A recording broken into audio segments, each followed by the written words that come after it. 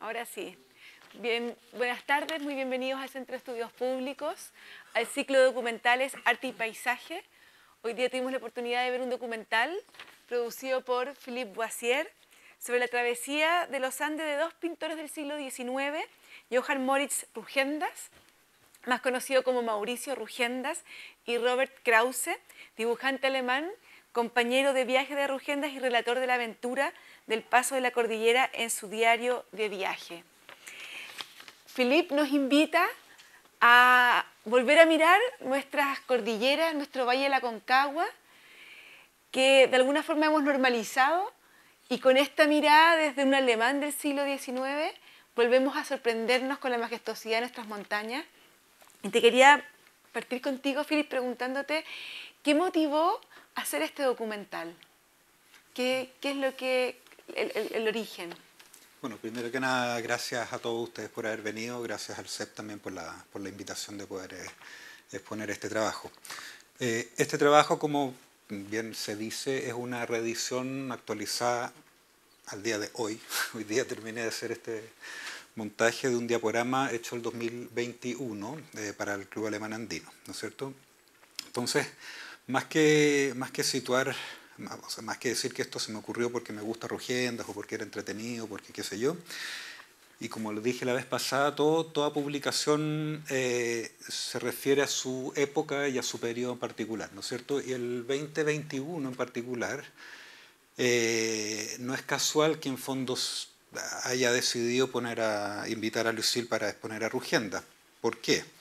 Porque entendemos, ¿no es cierto?, el 2021 como un periodo eh, en pandemia, pero sobre todo relacionado con el estallido, ¿no es cierto?, todo lo que pasó eh, un poco años antes, y de manera más macro, si, si le otorgamos, eh, digamos, si le damos créditos a, lo, que publicó Jeremy Rifkin el 2014, en el sentido de que eh, todas estas épocas marcadas por los cambios de paradigma asociados a los cambios de, de combustible en la historia, ¿no es cierto?, vienen asociados a grandes cambios sociales, ¿no es cierto? Cambios de, en la imprenta, en las modos de comunicación, cambio en el transporte y sobre todo un repensar en la sociedad, ¿no es cierto? Entonces, de manera evidente, eh, esta época que estamos viviendo, estamos viviendo en repensar eh, y, y, y, y, en fondo es la idea, eh, o sea, y en el fondo es un periodo en que uno em, empiezan a surgir las ideas de cuál es la sociedad que queremos. ¿No es cierto? Entonces no es de extrañar que 2019, 2020, 2021, 2022 hayan aparecido muchos trabajos, muchos eh, libros principalmente en que nos invitaban a repensar la sociedad. Eh, bueno, Javiera, por ejemplo, está, eh, sabe perfectamente lo que hablamos ahí cuando, no sé, pues queremos rehacer una constitución, ¿no es cierto?, repensarla, reimaginarla. Y ese mismo 2021 salen varios libros, sale libros de Jaksic, sale de, de, de, de, Sagredo, ¿no es cierto?, eh, asociados a otra época en Chile y en, en, Latinoamérica, donde también se volvió a repensar, a, crear, a crear una, una, nueva idea de sociedad, ¿no es cierto? Tenemos que reinventarla. Eh, y aquí hay que, hay que entender muy bien que en el fondo lo que creemos que es una evolución natural en realidad es un constructo de un grupo de personas bastante determinadas que tienen una idea súper precisa de qué es lo que se está, qué es lo que se quiere inventar, ¿no es cierto? Y ahí fue clave, y fue súper clave para, para, el ciclo de diaporamas y para este en particular, el libro de Cristóbal Marín, Huesos sin descanso, eh, editado en 2019. Nuevamente, tampoco es un azar que este libro haya salido en 2019. Eh, y en particular, el, en particular el, yo creo que hay dos episodios de, tu libro, Cristóbal, que son eh, importantes para situar a, a, a, Rugiendas en este, en este universo. Primero, toda la historia de um, Jeremy Bentham, ¿no es cierto? Eh, ¿Por qué? Porque Bentham, intelectual, él imagina América. Él desde su casa, ¿no es cierto?, en Londres, él imagina que América tiene que ser así y él se, de acuerdo a lo que tú describes, él se pone a disposición para ayudar a, a, a, a, imaginar esta América libre y por eso en fondo en su casa pasa Simón Bolívar, eh, qué sé yo, Miranda, qué sé yo. Eh, Y el segundo capítulo asociado a eso, que es, y ahí fue como el clic, en fondo, que, que, me hace pensar la importancia de Rugienda, es justamente cuando Irizarry, ¿no es cierto?, 1817, si es que no me equivoco, asociado a este grupo que estaba, que estaba Infante y otros, ya habían vuelto los realistas a tomar el poder en Chile y desde Londres se, trata de gestar esta, esta, esta eh, campaña liberadora, pero no por la fuerza necesariamente, eh, sino que por darle una identidad a esta creación de una América que no existía. No, no había nada antes, no, no, era una recuperación de algo, sino que aquí tenemos que inventar algo nuevo. Entonces, eh, de acuerdo al estudio de Cristóbal, eh, Irizarry decide o, o, deciden en conjunto en que primero hay que armar un relato. Y ese relato tiene que tener un héroe, ¿no es cierto? Entonces, tenemos que tener un héroe y no tenemos actualmente un héroe. ¿Quién va a ser el héroe? O'Higgins, ¿no es cierto? Para lo cual le pide a un desconocido Andrés Bello, ¿no es cierto? Que también estaba en Londres y lo estaba pasando mal, no era nadie eh, y le pide Andrés Bello, necesitamos hacer una biografía de este hombre, O'Higgins, y nos, lo necesitamos enlanzar como un héroe y como él va a ser el personaje. Porque no es, podría haber sido otro quizás, pero no era un héroe natural, digamos, no era un Lautaro, no era un Manuel Rodríguez, no sé. Pero se eligió a O'Higgins, obviamente tenía eh, eh, cualidad, digamos, pero se le crea un relato. Y no solamente se le crea un relato a O'Higgins, para Europa, ojo, este relato era para Europa, ¿no es cierto? Tenemos nuestro héroe, sino que también se encargan pinturas de él. Necesitamos relatar a este héroe y se crea toda una pictografía del héroe militar con toda no sé, yo creo que todos nosotros nos imaginamos esa época con estos héroes de pantalones blancos, chaquetas, medallas y una, una cuestión súper épica en cual yo tengo mis serias dudas que si nos trasladamos a esa época vamos a encontrar estos héroes por la calle.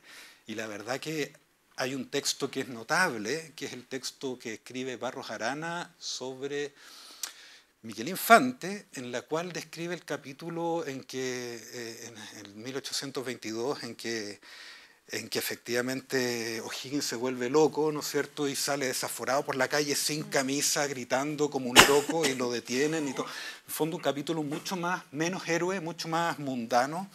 Entonces, eh, y, y, por, y, y, voy a ir al punto de Rugienda, ¿no es cierto? Se inventa una historia, se crea un himno, se crea una bandera, se crean héroes, es todo un constructo de un grupo de personas que probablemente cabían en esta sala, ¿no es cierto? Y todos estaban reunidos, todos se conocían, ¿ya?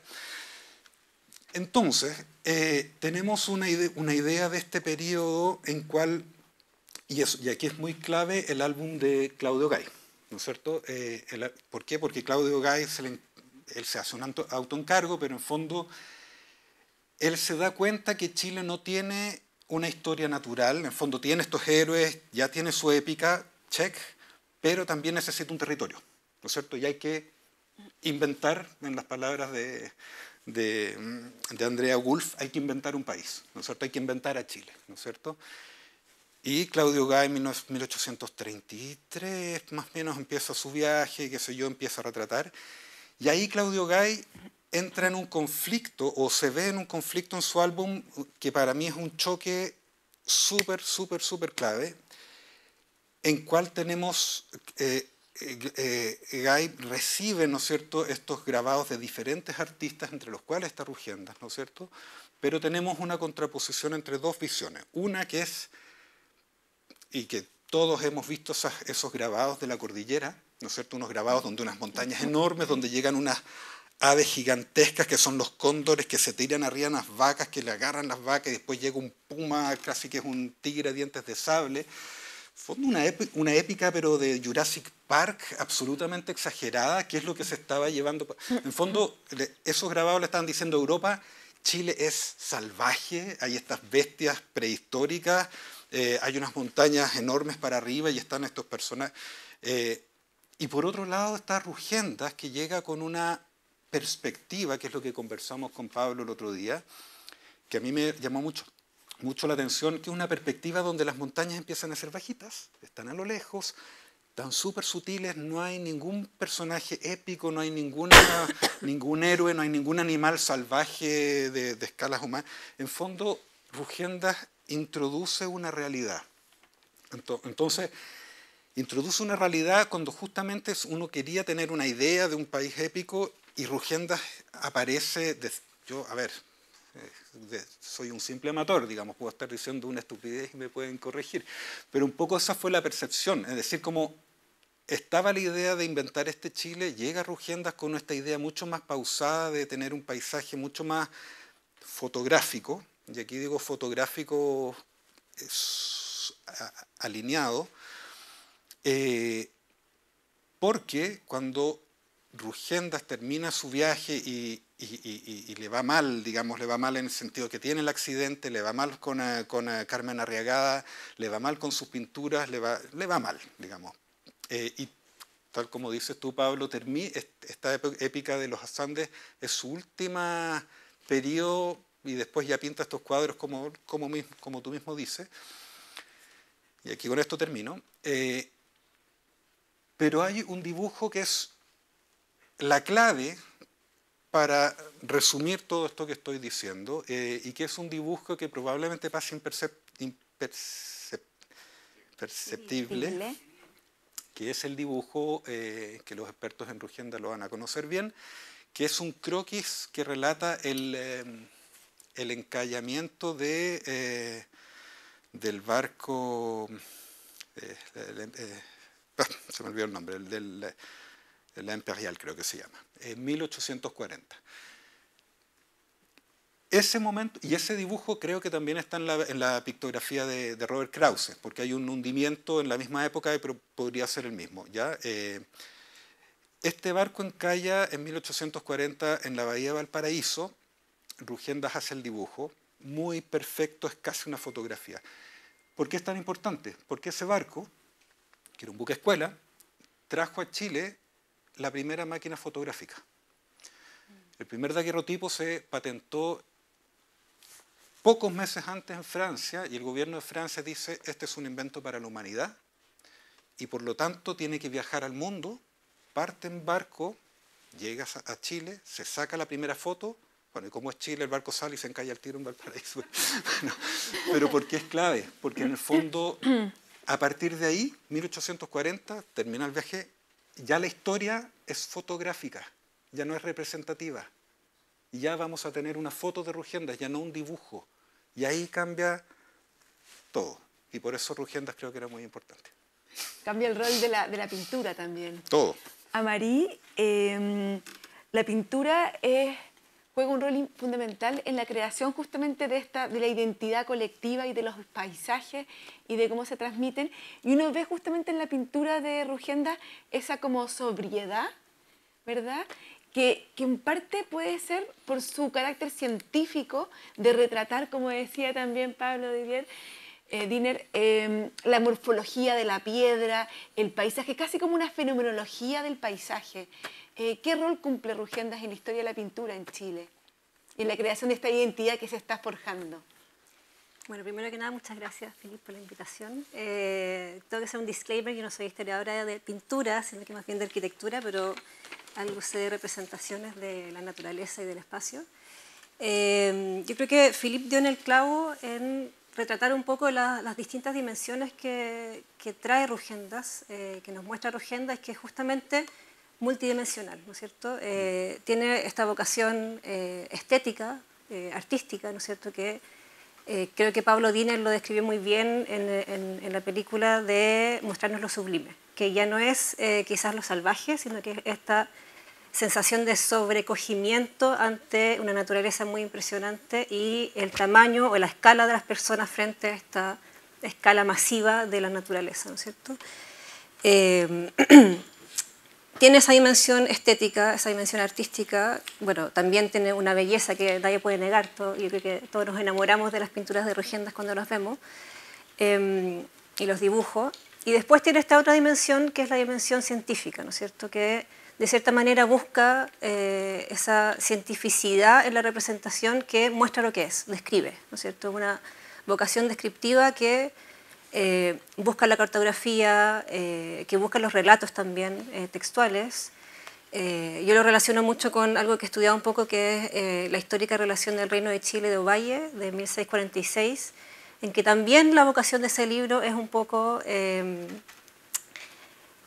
mostrar Chile, que es una naturaleza salvaje, que tiene muchos lugares bellos, la, idea de la, histórica relación de Ovalle era atraer a misioneros de Europa para que vinieran a Chile a, conquistar un poco a este espacio, eh, pero también sobre todo mostrar que es un lugar civilizado. Entonces también estaba de cierta forma creando, eh, creando territorio, ¿no es cierto?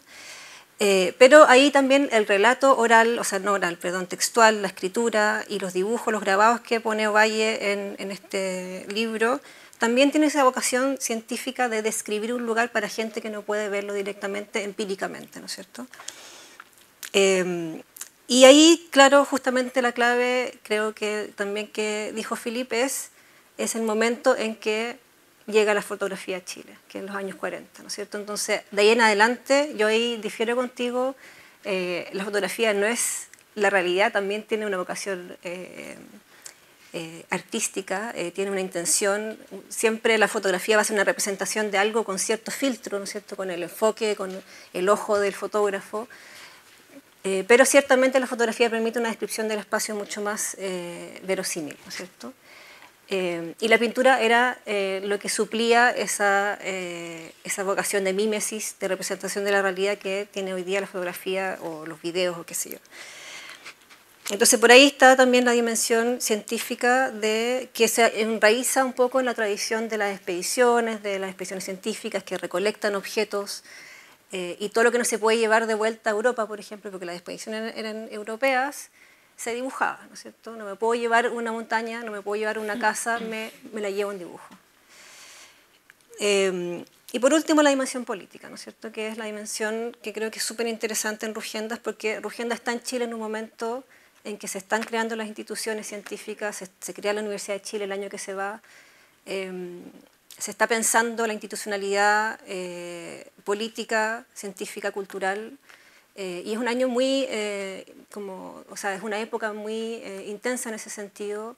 Se codea con Andrés Bello, con Claudio Gay, con Isidora Segers en la casa, las tertulias donde Isidora Segers, entonces participa ciertamente de esta, esta pieza que decía Philip, que estaban todos cabían en este auditorio, eh, que estaban construyendo eh, el destino de esta república, ¿no es cierto? Y, en ese sentido, también lo encuentro muy interesante en Rugienda este viaje en particular que tiene que ver con la frontera, ¿no es cierto? Con definir la frontera, de vadear la frontera, eh, y es una frontera que existía en ciertos lugares en Chile, pero en otros lugares todavía está difusa hacia, más al sur, hacia más al norte, eh, es antes de la Guerra del Pacífico, también el territorio chileno era otro y tenía una frontera eh, en ese momento bastante definida con Argentina, pero igual eran, eh, eran espacios un poco ambiguos, ¿no es cierto? Y para, los vaquianos me imagino que eso era un territorio sin fronteras, ¿no es cierto? Y justamente ese viaje de, de Rugendas permite pensar que esas fronteras son dinámicas y que son ficticias, son artificiales y son también eh, compuestas a partir de estas imágenes. Gracias. Álvaro, tú eres montañista y además investigador de historia andina. Eres además, haces excursiones. ¿Has hecho esta, este travesía o no? ¿Lo hiciste? Ah, bueno, ahora es mucho más fácil hacer la travesía porque está la autopista. No, pero llego caminando. No, eso, eso, es trampa, eso es trampa, haciéndola caminando. Te quería preguntar eh, porque esta ruta, veíamos, las casuchas, ¿verdad? Que hoy día son un patrimonio cultural, pero que antes de las casuchas en San, Felipe y en los Andes eran asentamientos incas, donde estaban los tambos, y esta era una ruta, ¿verdad?, muy concurrida en esas épocas. Eh, ¿Qué te evoca a ti el Valle de la Concagua y especialmente la ruta que hace Rugenda? Bueno, primero que todo, eh, gracias por el espacio, por la invitación y me gusta esta idea de poder relevar un poco la cordillera de los Andes y, aterrizarla aquí a la ciudad. Muchas veces se ve como que es más alejado. Eh, bueno, históricamente eh, el paso de Uspallata ha sido utilizado eh, hace mucho tiempo De hecho, los primeros vestigios arqueológicos incaicos son acá en el, acá al norte, en el Valle de la Concagua, eh, mucho antes que en el norte de Chile incluso. Llegan acá primero a investigar qué es lo que hay. Eh, estamos hablando 1380, 1400 después de Cristo. entonces era un paso estratégico utilizado por el imperio inca en esta serie de conquista o, anexión del territorio de Chile, como se llamaba, al imperio del Tahuantinsuyo. Eh, claro, tuvieron en ese entonces que resolver esa, esa problemática, que es lidiar con un terreno súper agreste, eh, el clima es súper cambiante, eh, en esa época debe haber sido mucho más salvaje que ahora. Eh, por lo tanto, el, Inca lo que hizo fue construir una serie de refugios o posadas, o conocido ahora como tambos, en los que ellos cada cierta distancia instalaban un tambo, una construcción.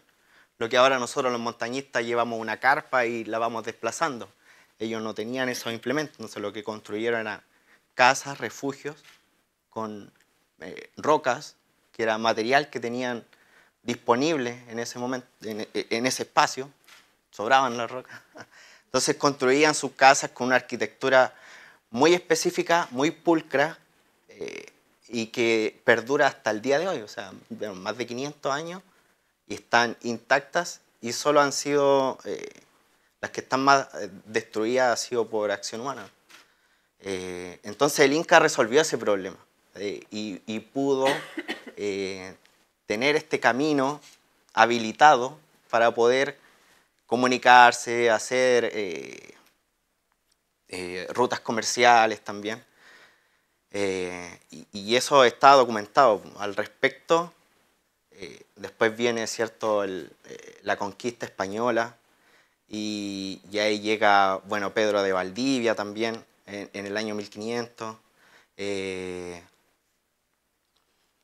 lo que en algún minuto eh, envían eh, algunos eh, parte del ejército a investigar esta ruta misma, también en el 1530 y algo, 50 y algo por ahí, y se describe, se describe, está todo detallado en un castellano antiguo, en un lenguaje que a veces es, muy duro de, digerir.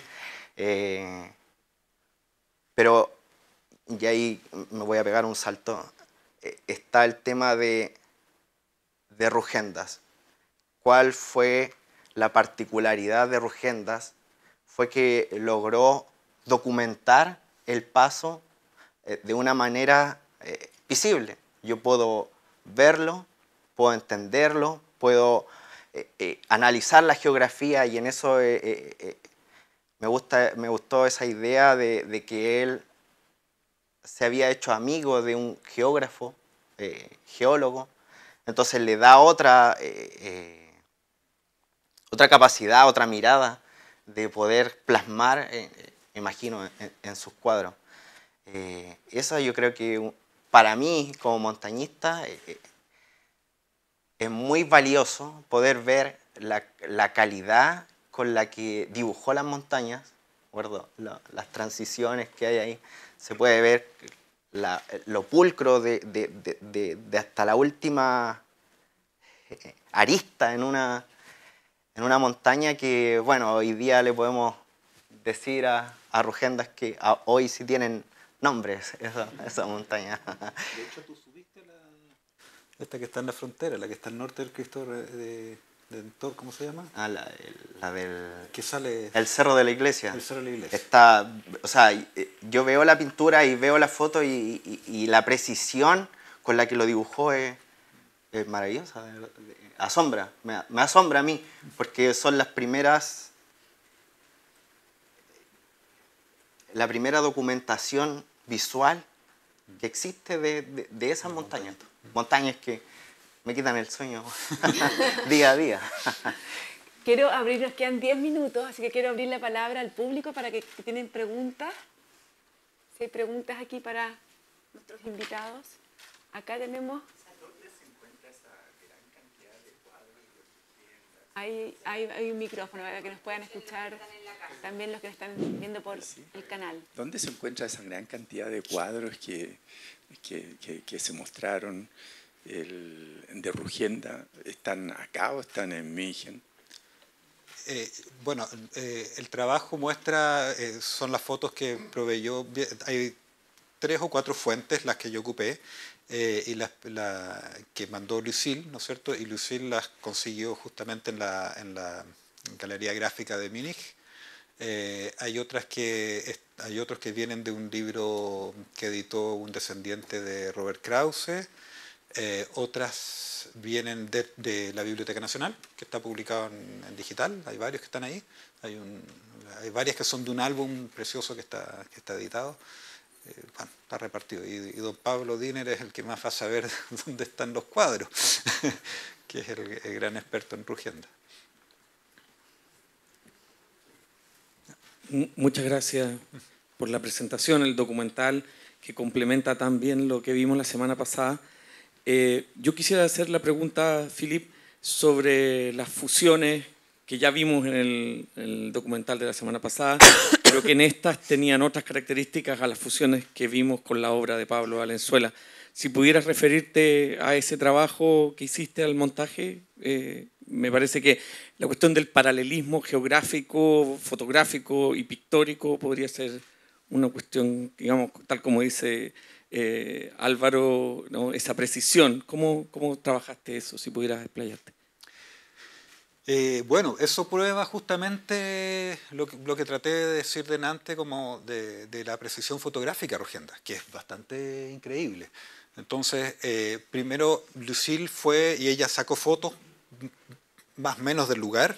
Eh, yo no quedé tan conforme con, esa justamente precisión porque yo al ver los, los, los- principalmente los dibujos, los, los- re- recordemos que las- los óleos, como decía aquí, los hizo en Mendoza. Los croquis son los que estuvo en el lugar, digamos, ¿ya? Eso es una, una precisión. Eh, pero la- el- por lo menos del lado chileno, porque no fui para el lado argentino, eh, la mayoría de esos lugares uno puede, ten- ten- fui con el dibujo en la mano y, y veía dónde caía el ángulo de la montaña, con, entonces uno se puede ubicar. Ahí, el, el- el de la roca gigante, ese no lo logré encontrar, ya no, ahí tenemos que ir de nuevo Álvaro.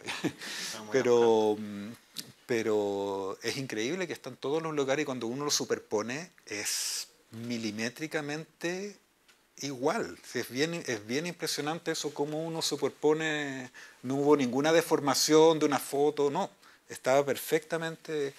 Así que, y no fue tan largo, o sea, bueno, es un estudio largo de que uno lleva varios años mirando las fotos, pero la verdad que es bastante fácil y asequible, no, no hubo ninguna, prácticamente nada que hubiera que escarbar. Lo que sí, por ejemplo, esas piedras dobles, no sé si las vieron, esa fue bonita porque me eh, trataba de buscarla y no encontré y en fondo el camino existe todavía. Y va la ruta de los Libertadores y este camino va, si uno va subiendo, va, por la mano izquierda arriba. Entonces uno se tiene que bajar, uno sube un poquito, recorre para aquí y para allá, pero las montañas es prácticamente un GPS, eh, lo de Rugienda, digamos. Eh, esto debe ser aquí porque ta, ta, ta, ta. ¿Sí? muy interesante y muy bello. Yo rescato sobre todo, eh, digo, muy interesante, muy bello, lo felicito. Rescato sobre todo al pintor, ¿no? Eh, más allá de la, de la hazaña que significa cruzar en esas condiciones, en esos tiempos. Pero transcurrido 200 años desde que Rugiendas con Krause hacen este viaje, eh, ¿hay, ¿hay algún otro pintor en nuestro medio que se haya adentrado de alguna manera de esa forma en la cordillera? Porque la cordillera es una parte inevitable de cualquier paisajista chileno, en general, podríamos decir, ¿no? Cualquier pintura del Valle Central tiene telón de fondo la cordillera, ¿no? Eso no es ninguna novedad. Pero de la manera como aquí penetra en el medio este para, y de ahí hacer una obra artística, ¿hay algo que se haya repetido o se haya, o a propósito de esa misma manera de enfrentar una pintura, ¿hay algún otro pintor que, por ejemplo, respecto a otro tema, hubiera hecho algo parecido? ¿Ah? Que se internó, por ejemplo, pienso en el mar más profundo para identificar, reconocer la forma de las olas o qué sé yo. No sé, quizás eso es un ejemplo tonto, pero quiero decir una manera de pensar que alguien también llegó de esa manera a identificarse con un paisaje y hacer una obra de arte.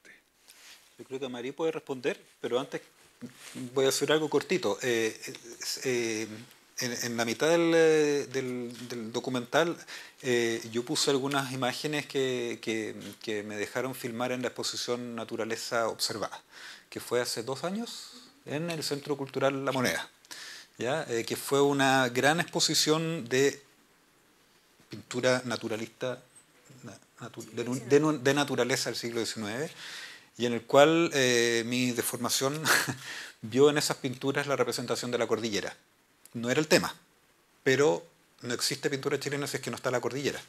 Es decir, la cordillera al tiro o cierta cordillera te dice, esta es una pintura, eh, es Chile. Y ahí habían algunas pintores, principalmente Antonio Smith, ¿no es cierto?, que, que se adentró bastante. Pero yo creo que María es más experta que yo. O por lo menos lo de Kent. Sí, pues, voy a hablar de dos cosas que es lo que conozco de cerca. Por un lado, claro, eh, no es pintor, pero sí Alonso de Valle hace una descripción muy profusa de eh, un ascenso a la montaña de la cordillera de los Andes y que habla de, al dice, es como caminar encima de las nubes y tiene toda una, una forma poética de escribir esto que también de cierta forma, si bien no existía la categoría artística, filosófica del sublime, es de cierta manera una descripción sublime de, la cordillera. Y, otro que viene de cerca, porque lo he trabajado, es Rockwell Kent, que es un pintor norteamericano eh, que vino en, entre 1921 y 22 a Chile. Hizo un recorrido en, em, en bote, en un bote bastante pequeño, eh, entre Punta Arenas y Cabo de Hornos. Y em, no pintó durante eh, el trayecto, porque algo que me gustó mucho del, relato de Lucille es que dice, pintar viajando es un oxímoron, ¿no es cierto? Como que es imposible tener el tiempo para pintar cuando uno está viajando. Pero eh, Rockwell Kent sacó muchas fotografías eh, y dibujó también, y luego se lo transformó en pinturas y en grabados que compuso todo junto en, en unas crónicas que publicó en 1924 y que nosotros tradujimos hace poco con con algunos colegas eh, eh, al español porque nunca había sido traducido al español. Eh, y lo interesante ahí es que hay otro tipo de encuentros, por ejemplo, con lo salvaje en los, en, los pueblos indígenas, que no aparece quizás tanto en, en Rugendas, pero aparece el encuentro con los onas, aparece el encuentro con los colonos que también estaban colonizando este espacio salvaje, y también la búsqueda, la búsqueda de lo salvaje cuando ya empieza a desaparecer. Como el siglo XX ya un momento en que eh, los espacios están más colonizados, están más eh, humanizados, antropizados. Eh, y es muy interesante en el libro que publicamos que hay un, un, explorador que, que, hizo el mismo recorrido, pero hoy día, y sacó fotos, por ejemplo, de las pinturas que hizo Rockwell Kent, las sacó como están hoy día. Y uno ve la, degradación de los, de los, glaciares, por ejemplo. Eh, uno ve cómo se va transformando el paisaje a partir de esta intervención antrópica. Eh, entonces son otras las problemáticas quizás de que las que aparecieron en el siglo XIX. Eh, y luego los invito a, o sea, te invito a, a quizás ver los trabajos de Rafael Sagredo que habla sobre la cordillera, las representaciones de la cordillera, de Catalina Valdés también que hace un estudio muy profuso sobre las representaciones en pintura y en cartografía y también fotografía de la cordillera de los Andes desde Argentina y desde Chile. Y cómo eso también se disputa el territorio a través de las imágenes. Entonces, por ahí esas dos recomendaciones, puesto que no, no conozco más ejemplos que se me vienen a la memoria ahora, eh, creo que uno puede tirar la pelota a otra gente que ha escrito sobre ello. Oye, llama, a mí me llamó mucho la atención en, en la narración de Krause y y en el relato de esta expedición, que lo que uno está acostumbrado en esa época son expediciones científicas, uno lee a Humboldt, uno lee a Darwin, y son expediciones motivadas por algo científico. Y acá pareciera ser que la motivación es la travesía misma.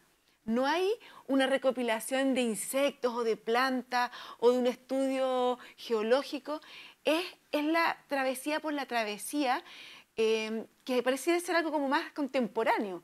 Entonces quería preguntarles cómo, cómo ven ustedes, ¿es un modernista, digamos, que, empieza a irrumpir con, con, estas expediciones por el placer mismo de, del descubrir o, o, hay antecedentes previos. Ahí a Álvaro y a Filip, que los dos son montañistas, así que... Sí, o sea, si lo pienso como... A mí me motiva mucho hacer expediciones y ex exploraciones, sobre todo ahora que estoy más dedicado un poco al montañismo, un poco más de exploración o, o, o más histórico. Hay expediciones súper interesantes, entonces, ¿qué habrá motivado a Rugendas? Pa para mí resulta algo natural, o sea, quiero ir a conocer ese lugar y, y, y caminar por esos lugares y, documentar. Ahora sí, también me sumo a esa cruzada de documentar eh, para compartir luego la información con, con, los demás. Entonces, para mí me resulta súper natural decir, vamos para allá, de esta forma, y, y ya. Ahora, no sé, difícilmente me podría poner en los zapatos de Kraus porque tendría que remontarme a esa época, pero eh, es interesante también quizá el antecedente histórico que, no comentamos mucho, que también existía la disponibilidad y la posibilidad de hacer esa travesía, porque eh, por mandato del rey Ambrosio Higgins fue el que diseñó y posteriormente se construyeron las casuchas del rey, entonces ellos contaban con la información de poder realizar la logística necesaria de poder hacer esa, esa travesía. Una travesía súper bonita, además que lamentablemente no se pudo concretar. Detalle mínimo. Sí. ¿Es el mismo recorrido del Ejército Libertador? Sí. De las ceras. Uno de los tantos Uno pasos fue ese, el de Uspallata. Claro. Sí. sí. Tenemos tres preguntas a Pablo Diner. Ah, ya. Sí. Hola, buenas tardes. Pues felicitaciones, es precioso el film, me encantó. Esas coincidencias de imágenes son fabulosas y están estupendamente resueltas. Hay otra tentativa de algo parecido con las imágenes de Rugendas en la región de Coquimbo, cuando subió de Coquimbo hacia arriba, hacia la cordillera, también se hizo un pequeño film mucho más corto, mucho más eh, rudimentario que el tuyo, pero eh, me llamó la atención la posibilidad en cualquier lugar de la obra de Rugendas de que eso aparezca. Eh, me quedé pensando en la pregunta que tú, Silvia, acabas de hacer sobre eh, el sentido del viaje en Rugendas. Yo creo que Rugendas viaja como un científico. Rugenda se siente una prolongación de Humboldt. Y de viejo él lo dijo, eh, incluso lo escribió. Bueno, lo escribió de esas cosas que lo escribió o no lo escribió, nunca se sabe muy bien qué, eh, qué hay de autógrafo, pero la idea perfectamente debe ser de él, o puede ser de él, cuando dice, yo me propuse ser el intérprete visual del nuevo mundo. Eh, y, del, y ser el intérprete visual en un sentido de las ciencias. Entonces, cuando él viaja, yo creo que no lo hace ni un poco por una aventura montañista. Yo creo que lo hace como un sacrificio de la ciencia. Él está ofreciéndose en el altar de las ciencias como, una, como un sacrificio. E, esa es su vocación. Eh, y en Chile concretamente yo creo que hay una curiosa sustitución de Humboldt por Gay. Eh, si lo hacemos así en una metáfora, yo diría, eh, Gay para Chile en este asunto, tal como tú decías, Philip, Gay es el director de la orquesta. Y claro, Rugendas es el primer violín. Eh, hay otros, ¿no? Hay chelos, hay contrabajos, hay clarinetes, hay fagot. Eh, de entre ellos está pues, Auguste Bourget, eh, Filippi, eh, el mismo Soberscale, que también pinta tierra adentro. Es decir, hay mucha otra gente que está componiendo esa orquesta que va a tocar la sinfonía de lo que es como dijo Rafael Sagredo, la construcción del espacio de Chile como parte de la construcción de la nacionalidad que se está haciendo en ese momento. Ahora, yo creo que Rugenda no tiene una sensibilidad histórica y social como para concebir eso, pero sí tiene la habilidad y modestia como para darse cuenta que Gay sí lo está haciendo. Entonces él se embarca en esa orquesta y sigue la batuta que marca Gay.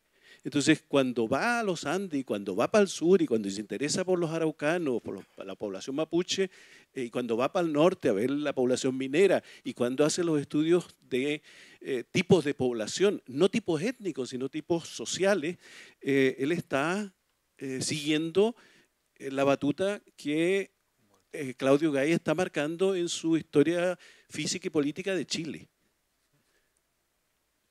Súper interesante. Tenemos dos preguntas más, acá y acá. Acá el señor primero y después...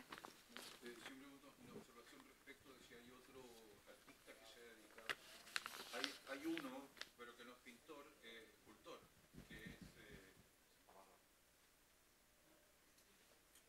eh, Pacho Casitúa que justamente ha realizado expediciones eh, a caballo siguiendo las rutas, las rutas del Ejército Libertador. ¿ah? Y en la obra de Gacitúa eh, es muy importante la cuestión de la cordillera porque eso tiene que ver con su obra como escultor en términos estrictos. ¿ah? El que fue discípulo de Marta Colvin eh, contaba una anécdota de que Marta Colvin llega a ver a Henry Moore y Henry Moore le dice, bueno, ¿para qué me viene a hablar a mí si usted tiene la cordillera en su país? O tiene Isla Pascua, no sé, en relación a grandes, grandes, a la monumentalidad, ¿ah? eh, sobre todo. Pero eh, yo recuerdo que eh, Francisco Gacitúa puede ser un, artista que es un, un, un, un explorador en el terreno y sé que ha andado a caballo y con muchas semanas con vaqueanos. ¿ah? ese sería el de los pocos artistas que, que contemporáneos que y el otro es, bueno, eh, Federico Acer, que vive ahí igual en el cajón. ¿ah? Eh, o sea, en ellos la cordillera es un elemento fundamental. ¿ah? Es como, y, en el extremo sur quizás hay algunos artistas que, que, emulan un poco la, las primeras expediciones del padre Agostini, ¿ah? pero hay, hay, algunos, no son muchos, pero... Eh, bueno, como todo esto es una especie de, nada separado, este documental se relaciona con el de Pablo Valenzuela de la vez pasada en el tema de la representación fotográfica. Y el próximo documental que veremos la del próximo jueves, que es eh, Granito, parte con un texto de Casitúa, eh, que es de su viaje por la cordillera. Entonces, eh, los invito para el próximo jueves porque van a ver esa, esa relación. En todo caso, yo creo que la artista, la artista que creo que captó el alma como decíamos la vez pasada, de la cordillera es Gabriela Mistral.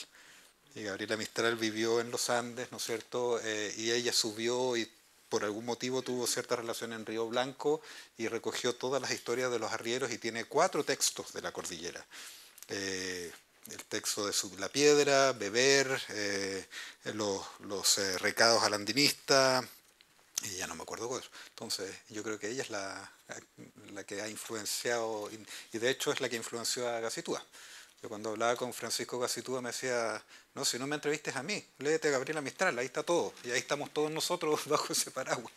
Así que eso es lo que quería. Había otra pregunta por ahí. pregunta acá.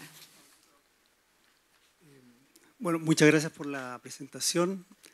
Eh, quería ofrecerles la idea, podrían eh, hacer los viajes del Ejército Libertador. Fueron seis pasos los que se usó el ejército, no, no uno como nos, mostraron en el colegio y ahí creo que un tema ahí que podrían más adelante, una invitación.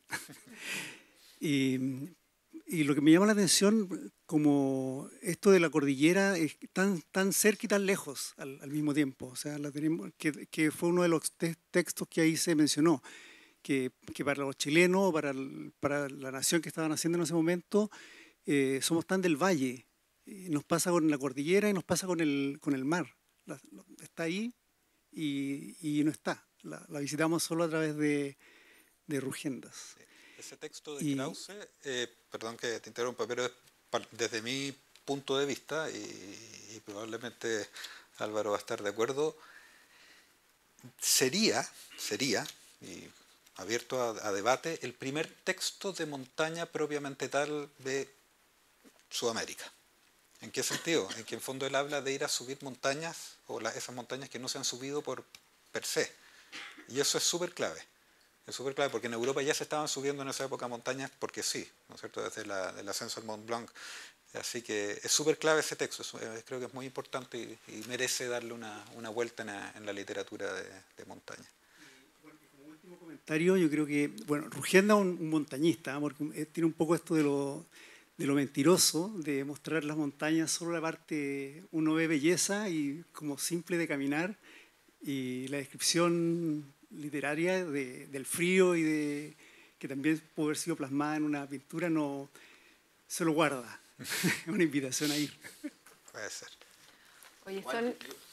Quisiera discrepar un poco con Kraus, porque esas montañas sí, muchas de ellas ya habían sido ascendidas, solo que eh, no estaba documentado de la manera en que nosotros estamos habituados a, a leerlas. O sea, están, y lo, los vestigios están ahí, o sea, eh, los capacochas que, hizo, que hicieron los incas, eh, en el Aconcagua, en el Plomo, en el, los Yuyayacos, eh, los centros de adoración en el que está cerca de la mesa, el, el Mercedario, y un sinfín de, de, de, montañas que ya habían sido ascendidas y yo quiero re, re, realzar y reivindicar que los primeros andinistas fueron los incas y probablemente anteriormente otros, otros más, solo que eh, no está documentado como estamos habituados a, a reconocer la documentación. Como dice Villa Echeverría. El primer andinista fue el Inca. Las 8.10, estamos, estamos pasados 10 minutos, pero no quiero dejar de preguntarte, Filip, tú eres arquitecto, montañista, productor audiovisual, pero además eres músico. Y, y me fijé que estaba Liszt en el documental. ¿Alguna razón en especial? Ya, esa pregunta es, es muy clave, es súper clave porque eh, esa, si se fijan, está todo en los años de peregrinaje de Liszt, ¿no es cierto? En, y es la única banda sonora que podría haber tenido este documental. ¿Por qué? Porque Liszt es contemporáneo de eh, Rugendas, tienen la misma edad, la misma época, y en la misma época que Rugiendas está aquí en Chile y empieza a tener sus amores con Carmen Arriagada, supuestamente no consumados según la visión de Oscar Pinochet de la Barra, yo tengo mis dudas, eh, Liszt está viviendo exactamente lo mismo con, uh, con Marie, Marie Don, Don, Don, no, Don, bueno, la, Don se me olvidó el apellido, que es su amante, ¿no es cierto?, que ya está casada, igual que Carmen Arriagada, la diferencia es que sí lo consuman eh, y se tienen que escapar y se van a Suiza. Entonces, Liz se va a Suiza con su amante eh, y compone lo, Les années de Perlin, eh, Pèlerinage, que es la banda sonora de esta película. Así que hay una, un lazo directo. Ahí. Oye, qué bonito. Te quiero agradecer, Filip, a Mari Álvaro, por estar con nosotros y a ustedes.